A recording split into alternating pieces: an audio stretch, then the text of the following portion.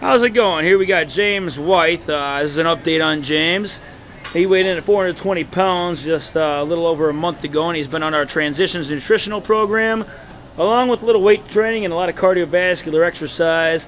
And we've been making small progressions with James over this last uh, month. Every week we do uh, more than last week. James, how you feeling after about five weeks on this program? More energy. More energetic, huh? Your clothes fitting differently on you. Actually, you've been consistent as all hell. You've been coming in at least four days a week, like I told you. Now, what keeps you uh, motivated? What keeps that drive alive? What makes you want to keep coming in? Oh, I, I got a long way to go. I know I had a long way to go, and I was a little discouraged that I didn't lose weight as fast. And uh, I, I can see how losing weight is a lot of work. I know that it took a long time to put on the weight, so it's going to take a while to take it off. It's not going to come off overnight. It sure will. And I keep telling people if dieting was a sport, it'd be the hardest sport in the world. Uh, definitely takes more self discipline than uh, anyone can imagine. But uh, the benefits sure outweigh the amount of work that you got to put into it. So once you get there, you're going to be a new person. So let's jump on the scale real quick, James.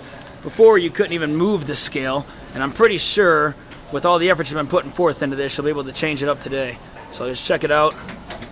Okay, so right now, let's see where you're at. Okay, you're at three. Well, before you wouldn't even, you're at 420. Okay, so here we go. Okay, yeah, you're close to 400. You know, you're close because it's pretty, uh, it's just barely, it's not shooting straight up like it was. But I would say you lost at least 15 pounds or so, which is good. You're on a, you're on a pretty good hot streak. Let's make sure that's even. Yep, looks pretty good to me.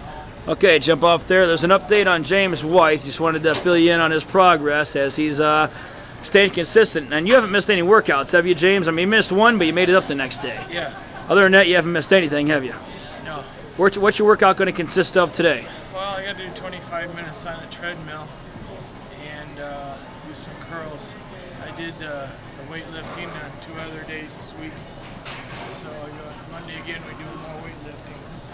Okay, James, we'll go do your thing and uh, don't hold back today. All right? Thanks for the thanks for the interview. Talk to you soon. Thanks for watching.